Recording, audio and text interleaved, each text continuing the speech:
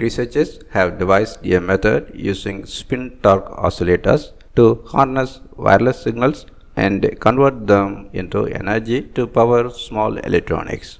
With the rise of the digital age, the amount of Wi-Fi sources to transmit information wirelessly between devices has grown exponentially. This results in the widespread use of the 2.4 GHz radio frequency that Wi-Fi uses with excess signals available to be tapped for alternative uses.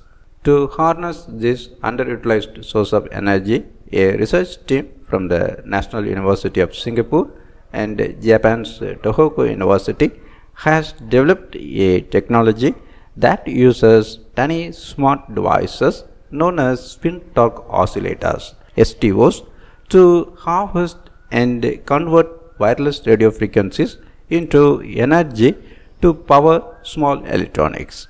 In this study, the researchers had successfully harvested energy using Wi-Fi band signals to power a light-emitting diode LED wirelessly and without using any battery.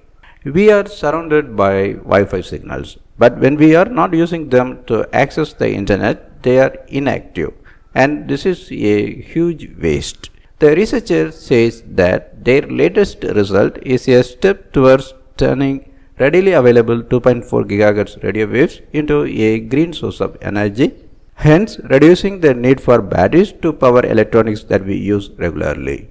In this way, small electric gadgets and sensors can be powered wirelessly by using radio frequency waves as part of the Internet of Things. With the advent of smart homes and cities, this work could give rise to energy efficient applications in communication, computing and neuromorphic systems. The research results were published in the journal Nature Communications. Spin torque oscillators are a class of emerging devices that generate microwaves and have applications in wireless communication systems. However, the application of STOs is hindered due to a low output power and broad line width. While mutual synchronization of multiple STOs is a way to overcome this problem, current schemes such as short range magnetic coupling between multiple STOs have spatial restrictions. On the other hand, long range electrical synchronization using vortex oscillators is limited in frequency responses of only a few hundred megahertz. It also requires dedicated current sources for the individual STOs which can complicate the overall on-chip implementation. To overcome the spatial and uh, low frequency limitations, the research team came up with an array in which 8 STOs are connected in series. Using this array, the 2.4 GHz electromagnetic radio waves that Wi-Fi uses was converted into a direct voltage signal which was then transmitted to a capacitor to light up a 1.6 volt LED.